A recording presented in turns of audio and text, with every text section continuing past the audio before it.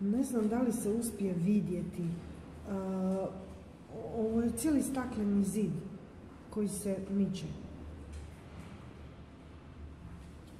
Ovo ne stoji fiksno. I cijeli stakleni zid koji je doista, mislim, to je zid stakleni do, koliko tu metara ima? Deset. Koji se miče.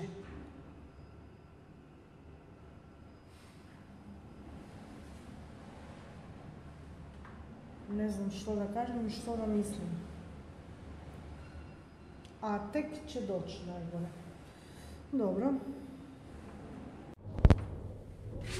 Da li je pametno da izlazi? Tutnja da nije normalno.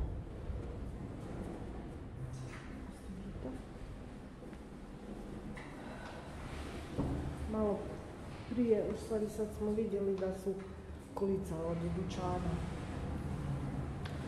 otišla do kolibija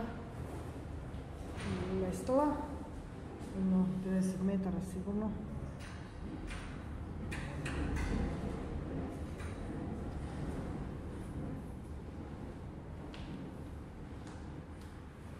Naravno, ovakvog vjetra nismo nikad vidjeli ni zamišljali.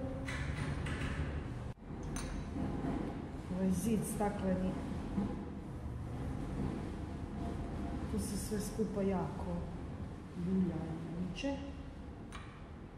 Vjerovatno je predviđen.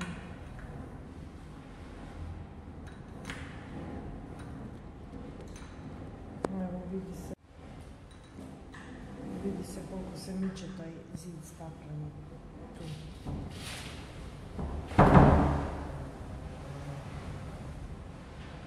Tu se vrata samo otvaraju i zatvaraju.